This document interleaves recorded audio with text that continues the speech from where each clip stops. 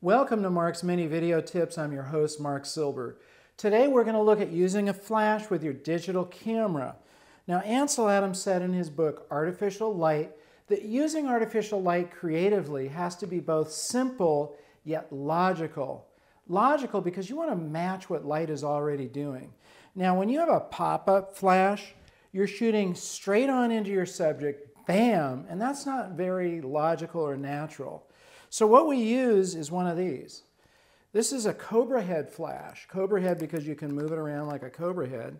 And what you can do with it is you can bounce it off the ceiling or turn it like that and bounce it off a wall or a curtain. Now here's an example of a shot straight on.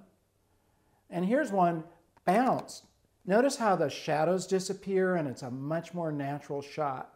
The other thing you can add is a diffuser which comes with your flash and what that does is it adds another natural element of diffused light. Light coming in through a window or through the trees is diffused. That's going to give you a much softer and less harsh look. Now, one other thing, you're taking pictures of people outside in the shade or in a room with uh, very little light, you're going to get raccoon eyes. What you can do is set your flash for balanced light or fill light. And what that's going to do is balance it in with the ambient light of the room Fill in those raccoon eyes, give a little spark in the person's eye. Gives you a much more natural shot. You can also do that by dialing it down manually one or two stops. Now, remember to put fresh batteries. You don't want to run out of juice in the middle of a shoot. Last thing, no matter what's going on with the outside of your camera, remember to look under the hood.